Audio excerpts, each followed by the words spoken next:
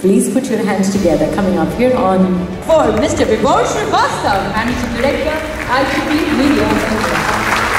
What do I say? I feel overwhelmed with emotions. I really want to thank everybody in the hall. I know the hall is full to its capacity. Uh, I welcome you all to this uh, award function uh, and uh, look forward to seeing you all. Thank you very much. On the top of the give it up for him.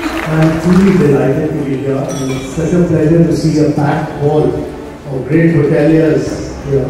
This is the greatest sector in India, and some of you are the greatest entrepreneurs of India. I wish you all all the best and all success. Thank you very much. Manjeet Singh Gill. Thank you very much, uh, Rupiah and the hotel industry. It was rightly Bible. Mr.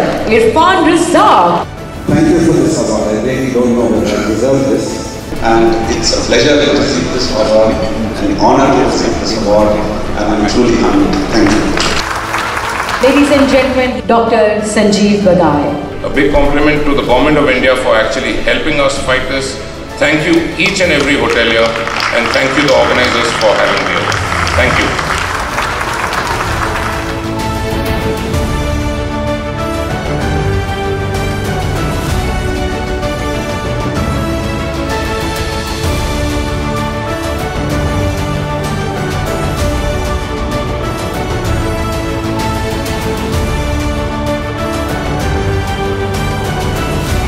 This match. We have 18,056 people watching us live. So I want to really thank you people watching us live and making it so incredible for us.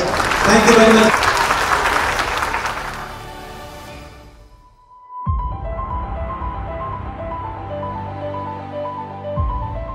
So tonight we are hosting the Oscars of the Hospitality Awards.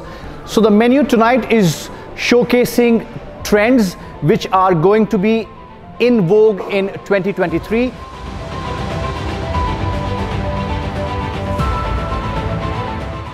Hotelier India is a lovely publication. It's a lovely set of individuals driving the publication. I think the quality of work is par excellence and this is by far the one of the best awards in the industry. It's a wonderful event and all the good work that you've been doing for the last so many years is indeed commendable. After two or three years of uh, dull moments that we've seen, I've never seen a banquet as full as this. Uh, the entire industry has come from the length and breadth of the country. You know, hospitality industry needs a glue. Now, Hotelier India has been in business for 13 long years, and I really think it is one entity that brings the entire industry together. It's a wonderful evening, and I think each each um, individual who's won an award tonight and those who actually were finally shortlisted truly, truly deserve to be there. I really want to thank Hotelier India and Marriott for giving me this opportunity and recognizing the efforts. Thanks to what, um, Hotelier India for honoring VP Plus from the uh, procurement department. What a great evening it has been bringing the industry together after COVID. I have three words for it. Wow, wow and wow. What a night it has been, right?